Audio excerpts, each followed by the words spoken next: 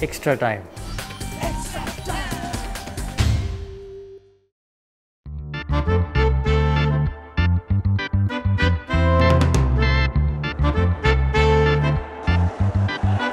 কলকাতা ফুটবলের ইস্টবেঙ্গল মোহনবাগান ডার্বির এক ঐতিহাসিক মর্যাদা রয়েছে। সেই ডার্বির শতবর্ষ চলছে। আর সেই উপলক্ষে বিরাটি মেরিনার্স আর বিশরপাড়া মেরিনার্সের আয়োজনে তৈরি হলো নীলাচল ফুটবল একাডেমি। এই উপলক্ষে দুই দলের প্রাক্তনদের একটি প্রদর্শনী ম্যাচ ছিল, আর সেই ম্যাচ থেকেই উদ্বোধন হলো নীলাচল ফুটবল একাডেমির। ডার্বির আবহ বইছিল বিরাটিতে।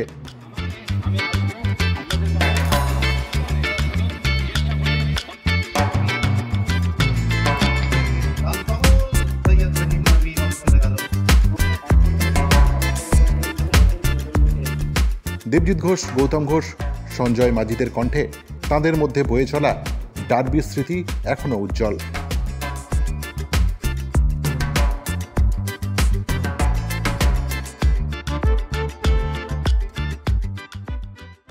ডার্বি স্মৃতি ডার্বি স্মৃতি দুটো ক্লাবের হয়ে প্রচুর ডার্বি স্মৃতি আছে। আসলে এটা ডার্বি লোকে বলে ম্যাচ বলে বাট আমার কাছে একটা আবেগ, একটা যুদ্ধ। তার কারণ আমাদেরকে পরিচিতি দিয়েছে, আমাদেরকে, আমাকে অন্তত দেবজিৎ ঘোষ বানিয়েছে একটা ডার্বি বা লাখ লাখ সাপোর্টার দুটো ক্লাবের কখনো লাল হলুদ, কখনো সবুজ মেরুন। এই সাপোর্টারদের উপর বেস করেই আমাদের সব।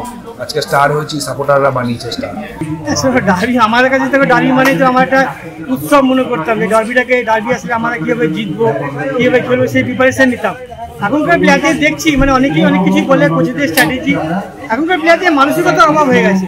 যে ইস্টবেঙ্গল মোহাম্মদ ক্লাবের যে ক্লাবের যে ঐতিহ্য, যে সম্মান সাপোর্টারদের আবেগ এইগুলো প্লেয়াররা এখন বোঝে না। আমি প্লেয়ারও দু বছর ইস্টবেঙ্গল টিমে করছিলাম দেখেছিলাম প্লেয়াররা হেরে গেলে খেতে চলে যায়। আমরা হেরে গেলে ম্যাচ কোনদিন খেতাম না।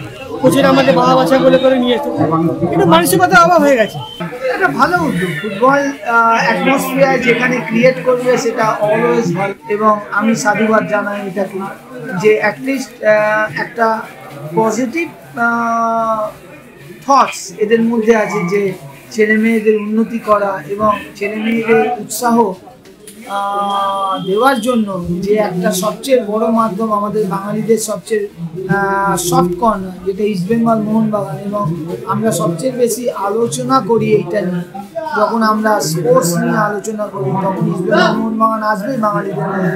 এবং একটা সুন্দর মাধ্যমের মাধ্যমে বাচ্চাদেরকে অনুপ্রাণিত করা, শুধু বাচ্চাদের নয়, বাচ্চাদের বাবা মা বা আশেপাশের পরিবেশকে আরও সুন্দর করে গড়ে জন্য একটা ভালো উদ্যোগ।